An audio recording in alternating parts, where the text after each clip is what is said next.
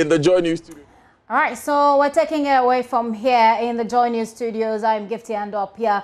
I'll, go, I'll, I'll take you to, uh, we, remain in the Greater Accra region where there are 34 seats up for grabs. Manuel Kranting will join us from Ayawaso West Wuogon. But if you're just joining us, this is how our, our, our, map is shaping up. The figures are coming in. You can see that parts of upper, we have details from parts of Upper East coming in, Nabdam, uh, uh, Garu, we have Builsa North, we have Builsa South, and they're all looking green. What it tells you is that these are areas that the NDC is holding on to. Manuel Kranting is joining us from Ayawaso West Wuogon. We'll pull up for you how the figures look like in 2016 and 2012. But Manuel, what is happening right now? Close to 12 hours of um, uh, you know counting and uh, the entire collation exercise. We have the results for the parliamentary election. Is the member of parliament for the West Wuogon constituency, Lydia Hassan. Ma Manuel, I do hear you, but it's very distinct. You sound very far away.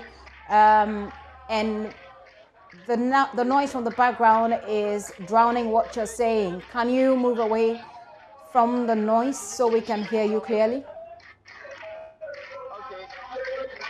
Try to reposition myself a bit. Hello, Manuel. Is it better now, Gifty? Gifty, is it better? Manuel, can you hear me? Yes, I can hear you. Is it better now? Uh, let's try this again. Go ahead. Let me see if I can hear you. I, was just saying, earlier in your shots there were, uh, was the incumbent member of parliament uh, for the Ayawaso West Wuogon constituency, who uh, today has been retained by the people of the constituency. But we have results uh, from the uh, electoral commission and the, the, the, the, certified results in this particular constituency as regarding the parliamentary elections.